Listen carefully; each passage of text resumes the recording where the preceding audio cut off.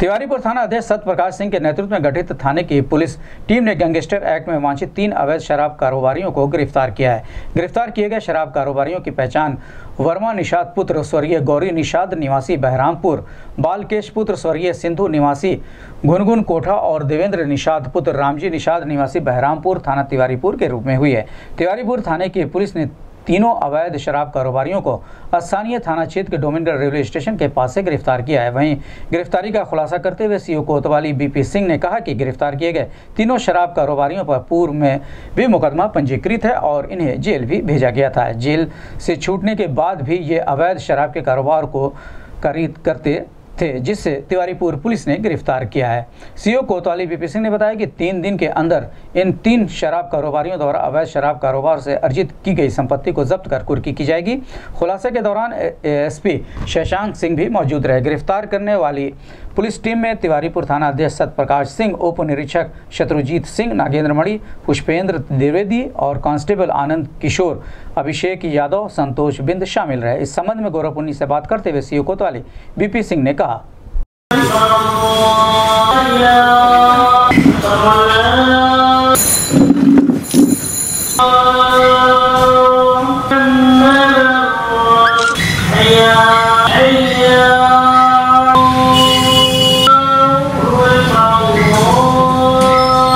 ये अवैध शराब का निष्कर्षण और बिक्री करने वाले शराब माफिया जिनके खिलाफ गैंगस्टर का अभियोग थाना राजघाट पर पंजीकृत किया गया था, आज, सुबह थानाध्यक्ष तिवारीपुर एवं उनकी पुलिस द्वारा इन सातिर माफियाओं को पकड़ा गया है।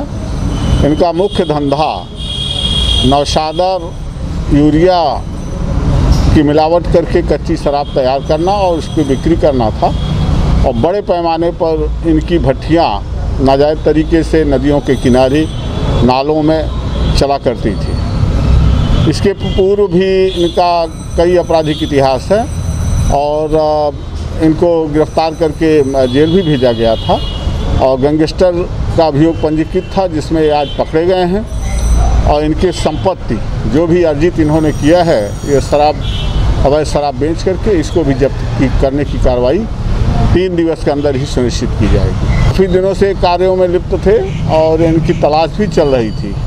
और ये शराब माफिया होने के नाते एक मामले में स्थगन आदेश भी प्राप्त कर लिए थे, जिसके कारण की गिरफ्तारी नहीं हो सकी थी। किंतु पुलिस निरंतर इनकी निगरानी कर रही थी और गैंगस्टर अभियोग में जैसे ही वांछित ये हुए, इनकी गिरफ्तारी सुनिश्चित की गई है। इनकी संपत्ति भी जब्त करके और कुर्क कराई जाएगी। अभी शराब माफियाओं के खिलाफ दो गैंगस्टर अभियोग पंजीकृत किए गए हैं, थाना तिवारीपुर और राजघाट द्वारा। इन सभी में इनकी तलाश चल रही है, इनकी गिरफ्तारी सुनिश्चित की जाएगी और उससे अर्जित जो भी धन है, जो भी संपत्ति तैयार की गई है, उसको कुर्क भी किया जाएगा।